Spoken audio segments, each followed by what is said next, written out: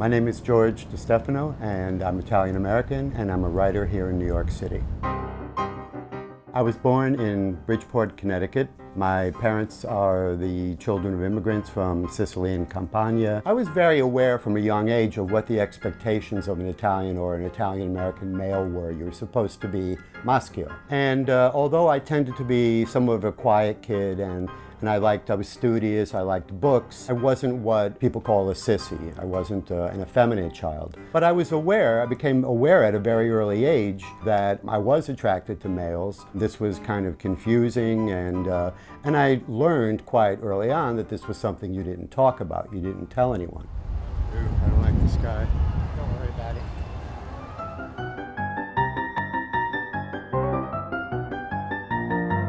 Around 1980, I was very much aware of the gay liberation movement, which was really taking off in the 70s, and I was following the various political controversies going on, uh, Harvey Milk, uh, Anita Bryant, all those. I realized it was I was doing this because it was expected of me, always aware that I was different.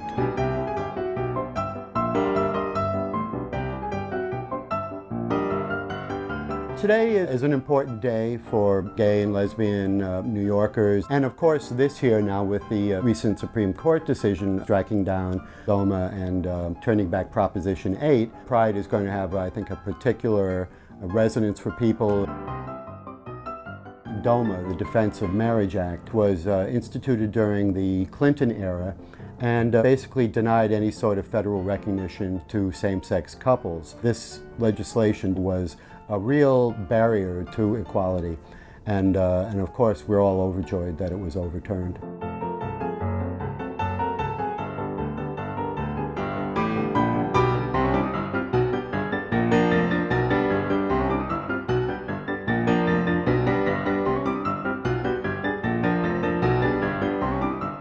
Met Robert in 1981, um, early 1981, at an anti-Reagan demonstration in Washington. And then um, several months later, uh, we met again. I came into New York City, and then that weekend we realized our strong attraction was immediate, I guess you could say, love at first sight. And from that weekend, uh, 32 years ago, we've been together.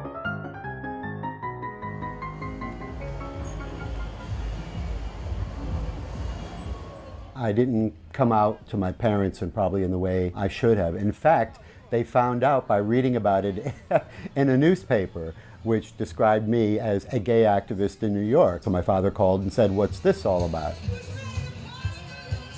Some Italian temperament came out, let's say, and uh, for a while we didn't speak to each other.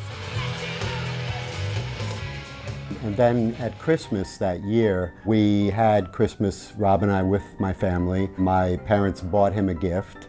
And that was the beginning of improved relations. And um, over 32 years, they love Robert. He's part of the family. And any issues that we had were resolved pretty early on.